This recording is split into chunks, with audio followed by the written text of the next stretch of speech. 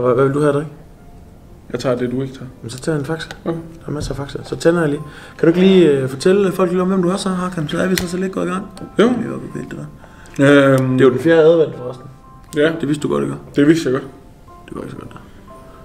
Men øh, jeg hedder Hakan, og jeg har brugt størstedelen af min fodboldtid herude i Herning Fremad. Mm? Øhm, og det har jeg egentlig været super glad for. Lige nu der er jeg bosat i Aarhus, sammen med tre kammerater hjemmefra. Øhm, og læser til lærer. Gjorde du det? Det vidste jeg faktisk ikke. Ja. Lærer? Jeg læser til lærer. Så lærte jeg noget af det også. Det er jo det. Er du glad for det? Det er jeg. Det er stille og roligt. Jeg starter i praktik her efter nytår. Ja. Så øh, det bliver spændende. Den nye uh, Isa Tabanagic. Bedre end ham måske. Det ved jeg ikke, det må du tage med ham. Han, Det er, håber han er også lærer. Ja, det er rigtigt. Lad os håbe, han er en god lærer, så. Det er, det er jeg sikker på. Men Hakan, øh, jeg er i gang med at lave sådan en øh, rundspørg her, øh, eller ikke en rundspørg, ude og snakke med nogle øh, fremmede folk, øh, både nuværende og tidligere, Mm. tidligere øh, til vores øh, adventskalender. Det her det er den fjerde advent, så det er jo, det er jo snart jul. Selvfølgelig. Hvordan skal du fejre jul? Øh, jeg skal faktisk en tur til Fanø. For Fanø? Til Fanø. Ja, for fanden. Du har ikke set den der, der er sådan en... Øh... Nå, han er for gammel, ham der, hvad hedder han, gitarristen? Nu kan jeg ikke huske, hvad han hedder. Øh, Johnny Madsen. Ja, han kommer derfra. Så Ja, ja, har han et program, der hedder For Fanø, eller hvad der er. Men er ham, der er det. Ja. Ej, jeg skal til Fanø og fejre med svigerfamilien, som man siger. Uh. Hvad, hvad, altså, Hvor lang tid er det så? fem år. Fem år? Shit. Nå, nå, så er der ikke noget nyt der. Nej, nej. Så der skal, der skal forhåbentlig noget god mad indenbords og pakkes nogle gaver op måske. Det bliver spændende. Ja da, Mm. det, det er jeg sikker på, det bliver. Hakan, øh, jeg skal jo spørge dig om nogle ting. Selvfølgelig. Og øh, puh, jeg kan godt mærke, jeg kan godt mærke, at jeg er lidt tung i hovedet i dag. Det har været en, det har været en hård uge. Øh, Der sker mange ting lige nu. Du også lige FIFA-turneringen. Ja, ja, FIFA-turnering ude på Stjernen og ude på, på skolen derude og sådan noget. Desværre vandt vi ikke. Men øh, det var sjovt. Men det var også en lang dag, du ved. Sådan, så er det sådan noget øh, 7.15 til 17.00, ikke? Som vil være Så er det en lang dag, ja. Som vil være basket bagefter. Øhm, Hakan, du spillede her fremad. Det har jeg gjort, ja. Når du tænker tilbage på din her fremad tid, hvad husker du den så for? Øhm, jamen, jeg husker egentlig tilbage på en sindssygt god tid herude. Øh, jeg kom jo forholdsvis tidligt også.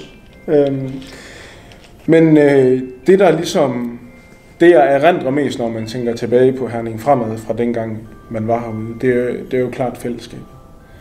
Øh, det her med, at man, man føler sig ikke bedre end de andre, og der er ikke nogen, der er hævet over en anden. Øh, Der, der er plads til alle, og der er højt til loftet, og, Ja. og vi har det sgu, vi havde det godt, da jeg var der, og gammel som ung, øhm, så havde vi det jo egentlig fantastisk.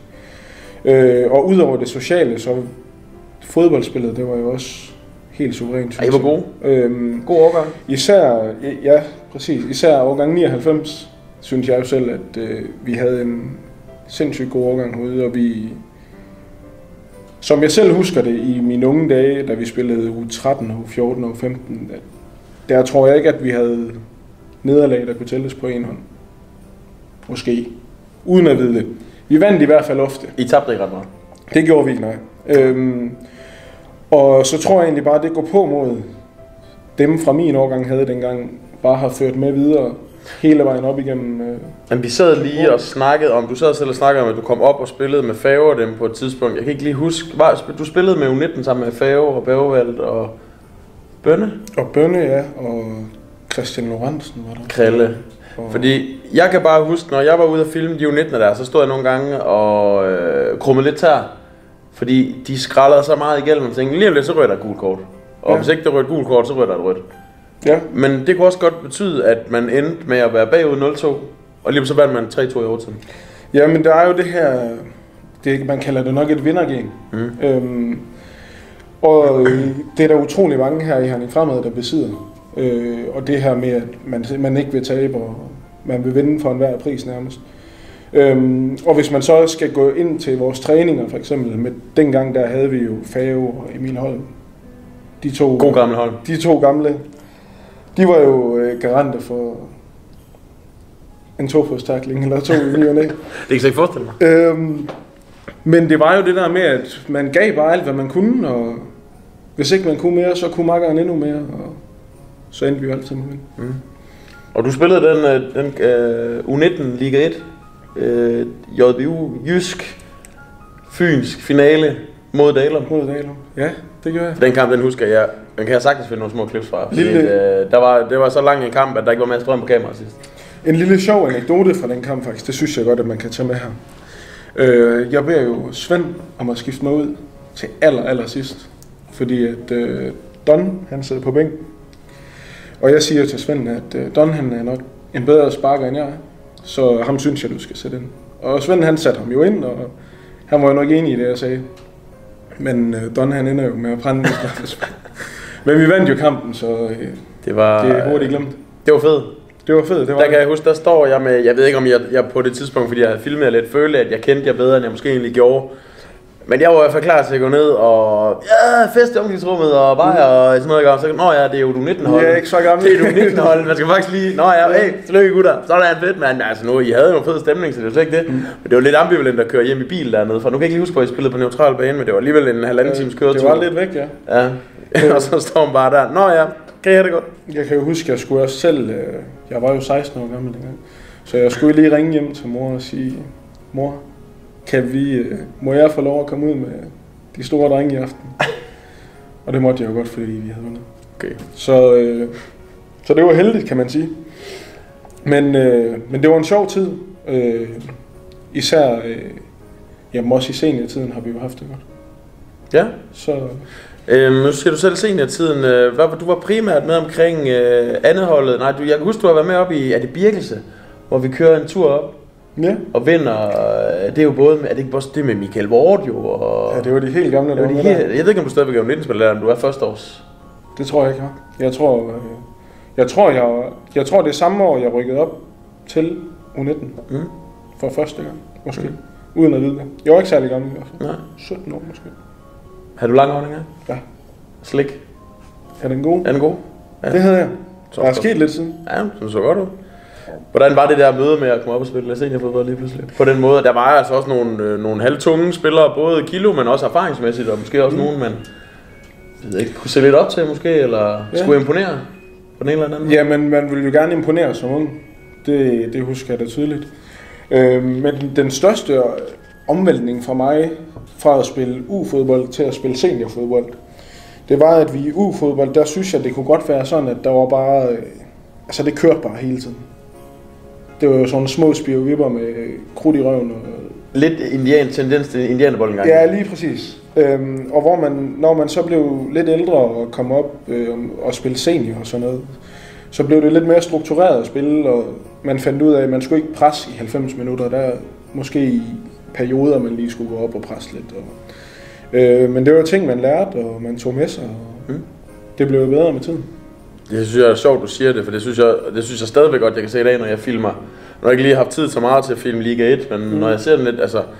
Jeg er helt sikker på, at de er meget bevidste omkring, hvad man gerne vil og sådan noget, men det kan hurtigt blive sådan noget med, også når kræfterne og ilden til hjernen begynder at slippe Ja. op, så er det bare gadagong, Så gadagong. kørte det bare rundt. Og, men, men det, var, det var jo sådan, vi spillede dengang, kan man nærmest godt sige. Og det handlede måske også dengang om at være i bedst form for at vinde.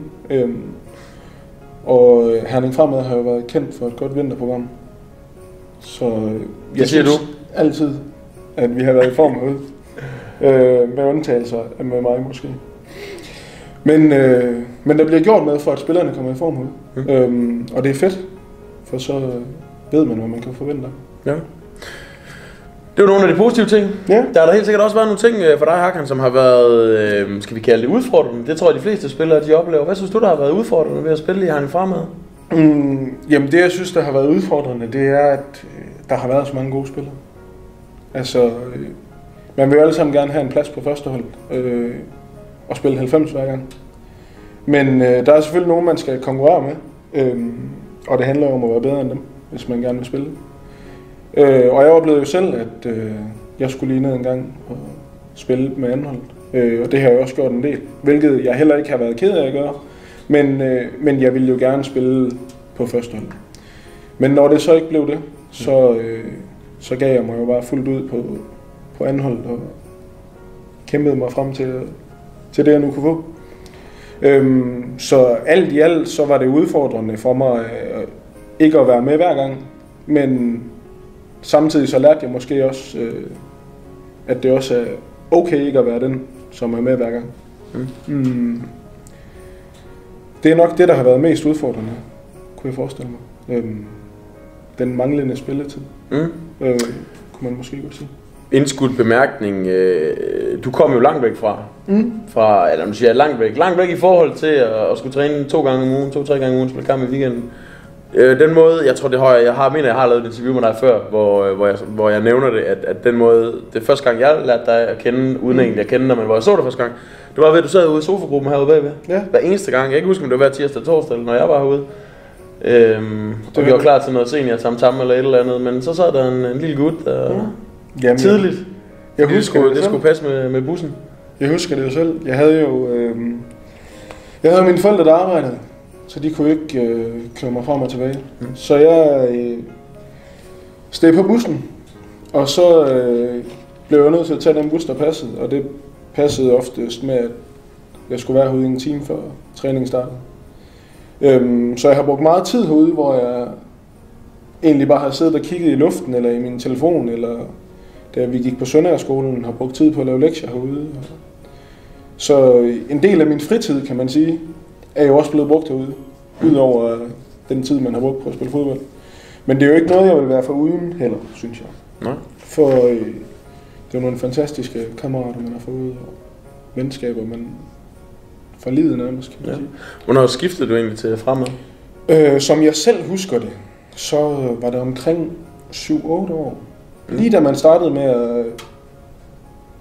Lige inden man startede med at spille på syvmands, tror jeg. Okay. Jeg ved ikke, hvor gammel man er. Men hvorfor så lige det? Fordi jeg tænker, der har der, øh, altså bare ren nysgerrighed, mm. der har der nok været fodbold i Hvidebæk øh, derude. Jamen det var der. Øhm, og for mig der... Øh, nu er Hvidebæk jo ikke en særlig stor by. Øhm, men, Jamen, det er ikke en mindste by. Nej, det er det ikke. men, øh, men jeg havde jo mine kammerater i Hvidebæk. Øhm, og jeg kunne jo godt lide at spille fodbold. Altså, det var jo, det var jo derfor, at jeg også skiftede hen. Men øh, jeg var jo faktisk ved at tage ud til Herning KFM først. Mm. Øhm, men jeg nåede egentlig aldrig derud. Fordi at øh, min far han havde en kammerat, hvis søn spillede herude. Mm. Og han sagde, øh, du skal ikke tage til KFM med ham, du skal tage ud til Herning Fremad med ham. Der kommer han til at spille godt. Okay, sagde min far så. Så kørte vi herud. Øhm, samme dag faktisk. Og så, øh, jeg tror det var Henrik Mikkelsen, der var træner dengang. Mm. Og så fik vi en snak med ham, og jeg blev registreret i klubben. Og så startede jeg jo egentlig med at spille her. The rest is history. The rest is history, det kan man sgu sige. Stærkt. Øhm, Jamen, nu har du så lidt nævnt det, så nu ved jeg ikke helt, om det her det er bare at, at loop over, men at Nå. det der med, at vi har talt lidt om det der med fællesskabet, jeg hænger fra med. Men hvad er det, der gjorde det specielt øh, for dig? Nu nævnte du selv, at, at, at mm. det var noget af det, du slog på, og noget af det, du ville kendetegne klubben. Hvad synes du, det var, at der gjorde det specielt, ud over det der med, at alle kunne snakke med alle, mm. og øh, der var ikke nogen, der var for fine til at det ene eller det andet?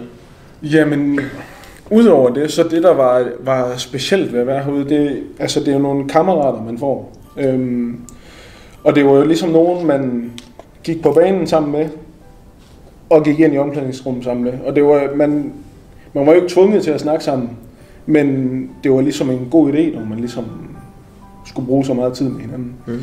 Øhm, så det der med, at, øh, nu kommer jeg nok til at sige det igen, men det der med, at alle kan snakke med alle, men at man samtidig også accepterer hinandens forskelligheder herude. Og, og Sebastian og jeg, vi har jo ofte snakket, nu bor jeg jo sammen med Sebastian oppe i Aarhus. Ja, Poulsen. Sebastian Poulsen, ja. Øh, og vi har jo ofte snakket om, at øh, hold kæft, vi savner egentlig Herning fremad. Men det er lidt svært at sætte ord på, hvad det egentlig er ved, ved klubben, der er så godt. Mm. Men det føles lidt som om, man kommer ud til en familie herude nærmest. Øhm, for man kan jo dele alt med de mennesker, der er her. Og hvis man har det svært, så kan man komme og snakke. Og hvis man har lidt spas og løjer, så kan man komme og gøre det. Og, altså der er plads til forskellighed herude, og det sætter jeg i hvert fald stor pris på. Mm. At der, Nu, nu har jeg snakket lidt med Kirkeby i det tredje advents mm. udgave der, og jeg har også snakket sådan lidt løst og fast med andre sådan igennem de sidste øh, par år og sådan noget, og ligesom at man kan godt mærke lidt, at der er stadigvæk det der glæde, der er stadigvæk øh, det der fællesskab, der man kan godt mærke sådan, at spillerne sådan generelt bliver yngre og yngre, om det er det, der skal tilskrives, eller at, at det er, eller at bare måske lidt, du ved, at tiderne skifter, der har været noget corona, det der med, at, at folk ikke nødvendigvis bliver hængende lige så meget, som de gjorde en gang, eller måske er det bare nogle typer, der er forsvundet fra omklædningsrummet, som ikke, som ikke lige har dukket de samme typer op af. Hvad, hvad var det, der gjorde det for, for dig og for jer dengang? Jamen for os dengang, der var der jo nogle, øh, der var jo nogle typer i omklædningsrummet, som, som gjorde det pisse hyggeligt at være der. Øh, Christian Kirkeby selv. Øh, og han er jo ikke den, der har spillet her i længst tid, kan man, ud af alle dem, der er der ligesom. Øh, jeg kan huske, da, da vi kom op som senior, eller dengang vi var U19-spillere og begyndte at træne lidt med seniorspillerne og sådan noget, så var der jo Mark, JB og Simon Nielsen, de var jo gode for, for alt muligt hyggeligt værk inde i omklædningsrummet. Og man følte sig egentlig bare velkommen. Øhm, og typer som dem gør det måske også nemmere for nye medlemmer af Herning Fremad at føle sig velkomne her. Øh, og det er måske også derfor, at man måske ikke er, er så nervøs, når man kommer ud og skal møde nye mennesker, men at jargonen er der fra start af. Mm. Øhm, så jeg vil sige, at øh, JB, Mark og Simon Nielsen, de har stor andel i, at omklædningsrummet det har været et hyggeligt sted at være. Mm. Så er det jo med at gå på jagt efter at finde de typer der, og det der fællesskab, og mm. hvordan man kan kigge, og det, det ved jeg, det gør vi hele tiden. Helt sikkert. Hvad for nogle små ting kan man skrue på for, for at få for, for at bibeholde det der. Fordi jeg tror, at, når, at, altså, at de spillere, der kommer her, føler sig stadigvæk lige så velkomne og sådan noget. Ja, ja, det er klart. Men man kan godt fornemme sådan, at, at folk har lidt mere travlt med at komme hjem, mm. øh, end de måske har haft sådan bare for 5-6 år siden. Men ja, det kan der være mange ting, men altså, det, man, spillerne bliver yngre og yngre, om det er det, det ved jeg ikke. Men mm. det er i hvert fald sådan en... Der skal jo være nogle nye, der tager over, så jo. Ja, men det skal det, der. Det, Ja, vi kommer også til at, at gøre, hvad vi kan her i 2023. Fortsætte med at ja. prøve på at have det sociale i højsædet. Nu har jeg så lige været træner for Serie 3, og der har jeg da også som træner øh, prøvet at opfordre folk til at blive hængende, få nu lige en øl og få en sodavand, og det synes jeg egentlig for det meste er gået fint. Du kan bare ikke gøre noget ved, at folk de også laver planer i weekenden nej, nej, efter kamp og sådan noget, men, det men vil du være ind med en kasse øl og en lidt sodavand, og så, så er man kommet et langt stykke af vejen, synes jeg. Så skal man nok øh, få et fodboldhold til at hygge sig i hvert fald. Det tænker jeg. Hakan, jeg synes, øh, jeg skrev til dig, jeg synes, jeg husker på et tidspunkt, at du var lidt ved at stoppe Ja. Omkring, øh, jeg kan simpelthen ikke huske, om det var omkring, nu nævnte du selv lige, om det var der, hvor du var på vej ud for, for at rejse. Ja. Og så blev du egentlig lidt lokket til at blive, øh, fordi det var måske lidt presset med spillere lige på et tidspunkt, mm. i hvert fald på de to første fremadhold. Hvorfor, øh, hvordan kan du selv huske noget omkring det der? Det øhm, bare lige en... Øh... Ja, jamen øh, det var egentlig fordi, øh, jeg synes jo, jeg havde spillet en spillet godt herude på anholdet. Øh, og jeg følte måske selv, at øh, jeg godt kunne have fortjent chancen højere. Øh, men når jeg ser tilbage på det nu, så er det jo ikke noget, jeg er sur eller irriteret over. Men jeg tror bare, det har været momentet for mig, at øh, jeg synes, at det var lidt træls. Og så øh, tænkte jeg jo selv, nu skal jeg snart ud og rejse, og jeg kan spille en kvart sæson. Så kan jeg lige så godt bare spille med mine kammerater i Hvidebæk. Øhm, og øh, så fik jeg en god snak med Heinz, og øh, og vi blev egentlig enige om, at øh, det var bedst for mig og Herning fremad at blive, indtil, indtil jeg skulle afsted. Og det gjorde jeg jo så. Og hvis jeg husker rigtigt, så er det faktisk i samme sæson, de rykker op i sæt. Nå, det er godt husket så. Er det det? Det ved jeg ikke. Jeg kan ikke huske. Vi må lige have fakta-tjek bagefter. Ja, det Men tror altså, jeg, der, prøv, der er ikke nogen, der går ind og tjekker det her bagefter, så vi siger det bare. Altså, det ja, var, vi rykkede op i... Så fordi du tager den kvart sæson, inden du øh, rejser udenlands der, det er faktisk med til at, at gavne han frem med rykket Det håber jeg, det var. Ja, det er jeg slet ikke i tvivl om. Du, det plejer i hvert fald, du er i hvert fald en kriger på denne hold, og det må jeg sige. Set udefra har du måske, øh, nu, nu, er jeg glad for, at du selv siger det med, at, det var det sværeste, det var, at der faktisk er så dygtige spillere, det er det, det er svært. Mm at komme op. Øh, altså man skal, man skal gøre noget for noget ekstra, og man skal også have noget. Øh, men, men der var ikke nogen tvivl om, at når du var nede på, på C2, så ser jeg det næsten måske lige så meget som om, at du var over på C2. Fordi du var en af de bedste, når du var der mm. øh, på andet hold. Ikke? Så det er klart, øh, om du skal sidde på bænken på, på Jyllandsserien, det, det tror jeg måske en af gerne heller du ville for at få spilletid der, uden at vide det. Ja, ja, det kan ja, du selv rette mig. Men jeg er da ingen tvivl om, at, at, at der er en spiller som dig, bare vil knalde igennem nede på det andet hold der. Og jeg kan også nævne sådan en spiller som, øh, som Ingård, Nikolaj Ingård, ud fra, som tog tilbage til IKAST. Jeg er ingen tvivl om, at han kom til fremad for at spille første hold. Han var måske ikke lige helt god nok til at spille Jørgenserie. Mm. Men han var vanvittigt dygtig, og han kæmpede røven med bukserne på andet hold dengang. Men klart, han kom til han fremad for noget andet, og det er fuldstændig fair, no hard feelings, og Mm. anfører ude i IKAST nu, så vidt jeg ved, og gør det skide godt for deres, øh, er det ikke C1 derude? Øh. Men, men, men det er jo igen, som han fremad, kunne man bare mega nej, være fedt at bruge de der spillere, som, som selvfølgelig er sultne, men bare gerne vil spille C2, mm. øh, og kan være med til højhold, men man forstår godt, hvis man har ambitioner. Ja, lige præcis. Men det er også, altså for mig, der i bund og grund, så handler det om at spille fodbold og have det sjovt. Mm. Øhm, og selvom at jeg så kunne se, at øh, jeg en weekend ikke var med første hold ude, så kunne jeg måske godt sidde med en følelse indvendig i at tænke, det var sgu noget pis det her. Men at så når jeg så lørdag troppede op for C2, at så ville jeg stadigvæk give alt, hvad jeg kunne for, for ligesom at, at bidrage med det, jeg nu kan. Øh, for at falde i øjnene på dem, der nu skulle vælge Ja. spillere til, til de andre hold. Og det er jo en fed holdning, du har der, for der er ingen tvivl om, går du ned og bomber for, for C2, altså på den dårlige måde, så, mm. så er du i hvert fald ikke i betragtning til at, at komme med op igen. Men, Nej. men bomber du tværtimod igennem, eller knalder igennem, skralder igennem, så, så er der større chance for at blive lagt mærke til, det er der ingen tvivl om. Det er selvfølgelig. Kombineret med træning. Så er, der nok heller, så er man heller ikke berettiget til at stille spørgsmål til, hvorfor man ikke med. Nej, det er da sjovere at kunne have tre assist og fire livsnødvendige taklinger og stikke det op til førsteholdstrænercenter.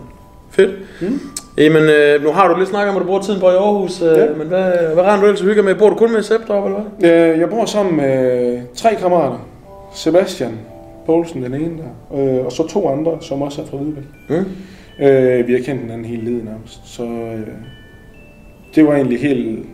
Jeg følte ikke, det var så nyt at flytte op med dem. Øh, man skulle selvfølgelig lige vende sig til, hvad de nu havde af vaner og ting og sager. Men ellers så øh, spiller jeg lidt fodbold sammen med Sebastian også. Mm. Hvor spiller jeg? NB93 hedder det. Ja? Øhm, spillede oprykningskamp i her i efteråret Til hvad? til C1. Vandt? Men Vi tabte den så desværre. Vi tabte i straffespark. Var det bedst af to, eller, eller hvad det, to, den der to kampe, eller havde det vundet var- en, eller var ja, det vi- bare en? Vi havde vundet en, Okay. og så skulle vi spille den sidste. Og den Ja, straffespark. Den tabte straffespark, ja. Så du, at øh, vi taber, øh, vores to taber strafspark øh, til Kolby Hørdum, hvor vi kunne have Ja. mødt Tjøring? Jeg har godt set det. Det er på, Og, det går stadigvæk ondt, at vi ikke skulle møde Tjøring. Og det, det irriterer mig også lidt, ja. Det kunne være fedt at have... det kunne have været bedst. også fordi... Uanset nærmest, hvordan det var gået, så kunne det, havde det bare været et brag med forhåbentlig kunne lave lidt tilskuere ude i Tjøring. Mm. Og, det Ja, kunne have fed fedt. Det har altid været fedt at spille til. ja, er det ikke det? Jo. På godt og ondt. Følger du stadigvæk med? Nu siger du, at du så godt, at det var det der. Det gør jeg faktisk. Øh, klubben er jo heldig, de har en mand som dig. Social media. Social media. Mm. Øh, det, der bliver lagt op, det, det ser jeg på. Og hvis ikke du har haft tid til det, så øh, går jeg da lige ind og kigger på det nu. Mm. Det, øh, jeg føler, at Herning Fremad for mig øh, er noget, der altid vil følge med. Øhm, og det er måske også det, der gør klubben speciel. At Herning Fremad ikke bare er en klub, man tager til og skifter fra, og så glemmer den. Det føler jeg i hvert fald ikke. Ja. Øh, Herning Fremad for mig er, er en klub, jeg altid vil følge med i. Øh, uanset øh, hvor i landet jeg befinder mig. Fordi at jeg, jeg synes, at det har, det har gjort mig til en god person og fået nogle gode værdier med herfra, øh, når man har kigget rundt. Øh, så alt det, jeg kan følge med i, det, det følger jeg selvfølgelig med i. Og, og jeg vil gerne komme ud og kigge, når, når vi engang begynder at spille kampe igen. Ej, det var synd, at vi ikke kunne, der ikke var træning i aften. Så Ja. dig og Søren Nygaard og Christian Kirkeby blandt de der 7-8 andre plus 19, så er de trænet, men der er simpelthen sne på banen. Du så selv derude, det, Ja, det- det, det, det kan man ikke. Det kan man Det, kan være- man kan hverken rytte det, man kan ikke spille ovenpå det. Det bliver ikke i dag. Måske en nytårsspil. Ja, men det kan, må vi se, hvad har vi næste. Det kan jo også godt være på tirsdag. Hvis det bliver så varmt, som de siger, så kunne det være, at det smelter lidt. Who knows? Så skal du være velkommen. Nogle flere ud. Ja, må ikke. Så skal du være velkommen. Ja, tak. Hakan, øh, til sidst, Ja. hvis nu du skulle fortælle andre om han er fremad, Mm. på godt og ondt, hvad vil du så fortælle om han er fremad? Den er svær, Pinky. Det er svært at sætte ord på. Du ved det også Du selv. har allerede gjort det godt, synes jeg. Øhm, jamen, Herning Fremad. Øhm, det, det er jo en fantastisk klub. Øhm, og der er plads til alle. God som knap så god. Der er hold på alle niveauer. Øh, hold på alle, alle aldre, havde også sagt. Der er jo, nu ved jeg ikke, hvor mange hold der er ude. Det tør jeg heller ikke lige at Men, spore om. øh, men der er jo sindssygt mange hold. Øh, om, om man har ambitioner om at spille på sindssygt højt niveau, så synes jeg også, der er plads til det. Øh, har man en ambition om at spille lidt hyggefodbold og drikke nogle øller imens, så, så kan man også det. Altså, der er, der er plads til alle, stor som lille. Altså, det er jo... Øh, og man har altid et smil på læben. Det, det er nogle gode mennesker, der er. Det synes jeg. Øh, trænerne også. Altså, der er jo ikke nogen at sætte en finger på nærmest. Det, vi har haft det... I den tid, jeg har været her, så synes jeg jo, at øh, der har været en god jargon med, mellem alle nærmest. Og jeg har ikke, af hvad jeg ved af, har jeg ikke hørt, at der har været nogle problemer med nogen eller noget. Vi har jo alle sammen bare... Vi er her jo alle sammen for én ting, og det er at spille fodbold. Mm. Øh, og når man har det fælles, så, øh, så kan det næsten aldrig gå galt. Nå. Det, Store det må være det sidste. En god selvtale. Jamen jeg sad lige, det skulle jo egentlig været det sidste, men så kommer jeg lige til at tænke på, hvad er, Ja. egentlig, hvad er egentlig din bedste fremadkamp? Min bedste form. Ja, og hvis den er filmet, så kunne det være fedt. Så kunne jeg sådan lige Jamen- smide, de ved, highlightsene ind til Det, sidst. det lyder også, altså det lyder lidt dumt jo, men de gode, virkelig gode fremadkampe, jeg har spillet, der har der aldrig været kamera med. Øhm, men øh, Så ender det med, at det bliver den der Dalum-kamp. Øh, nej, men jeg synes jo faktisk, hvis det skulle være en filmet kamp, så synes jeg faktisk, øh, kan du huske, øh, nej, det var mås- du var måske ikke selv ude at filme den. Der er en filmet kamp mod Bording på udebane. Øh, Jeg skriver lige ned. vi vinder 2-1, tror jeg. Scorer du den? Efter at have været bagud. Nej, men jeg tror, jeg ligger op til et mål. Nå. Efter, efter et godt presspil. Mm. Øhm, Er det C2? det tror jeg. Øhm, Hvor langt er de henne der? Har han øh, årstal på? Og så? Jamen, jeg tror, det er den sæson, jeg vælger at blive. Fed. Ja. Så kan det godt være noget C2 op i C1 der. Jamen, jeg, ja, det, jeg tror, det er der, Pinky. Nej, men jeg leder lige efter en assist, og så kan jeg lige prøve at se. Ja. Øhm, Er det bare fordi, du kunne huske den kamp, som at du spiller pisse godt der, eller hvad? jamen, jeg synes, øh, jeg tror, men også fordi det har været en af de sidste kampe. Mm. Øh, jeg tror ikke, jeg har spillet mange kampe for Herning Fremad efter den. Nå. Øh, så det var måske lige at sætte det sidste afsæt. Ja, Og så, øh, så må drengene levere og vare. det må det. Ja. Jamen Hakan, øh, fedt. Ja, Tak. selv tak. Det var virkelig nice, du lige gav dig tid. Selvfølgelig.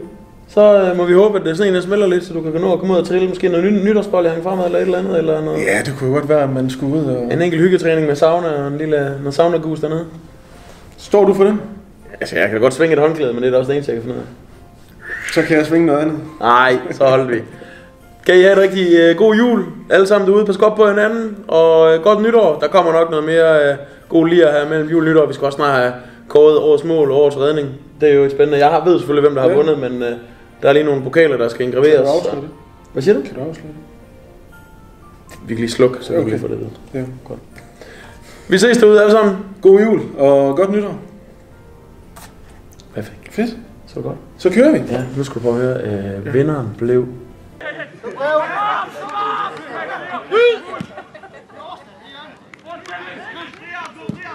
hold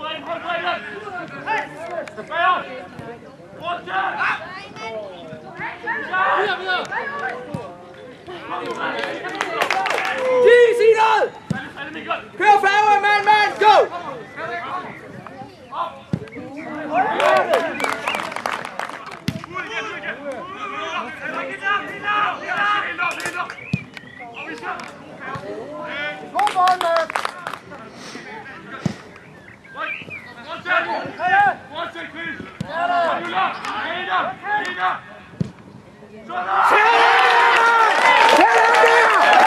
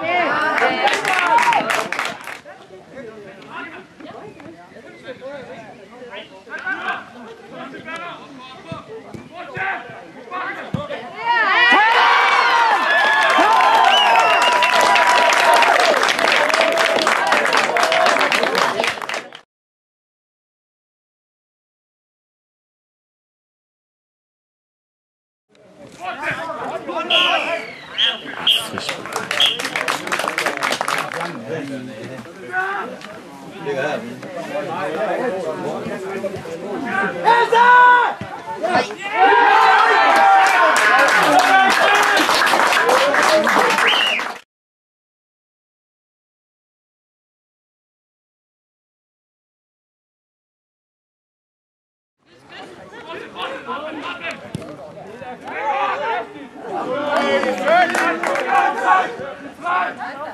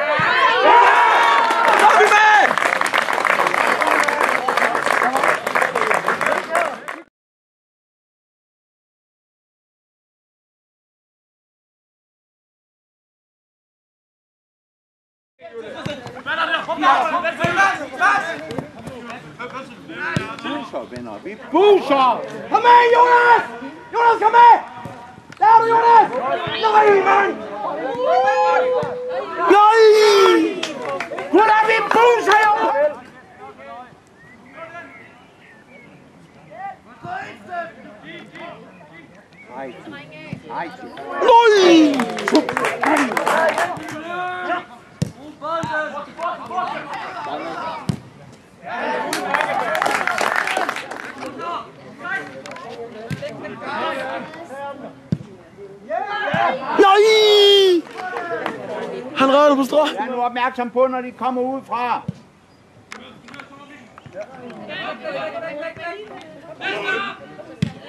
Ja!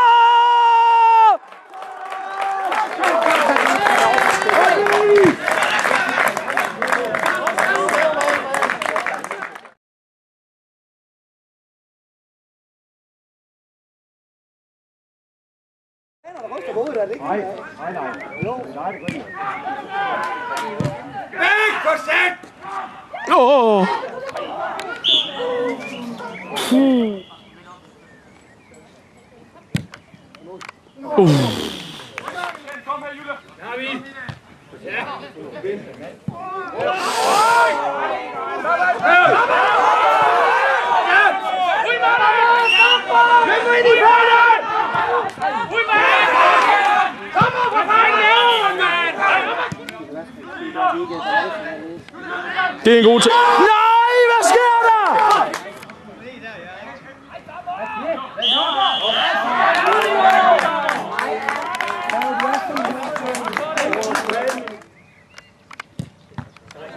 Godt, det der! Fortsæt! Færd!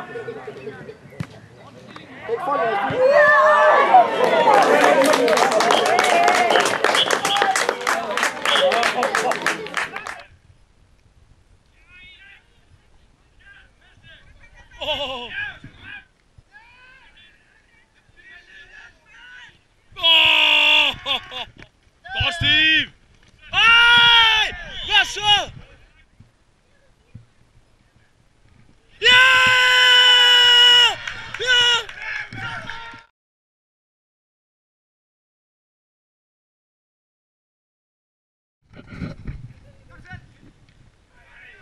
Nej! Bliv på benene, bliv nu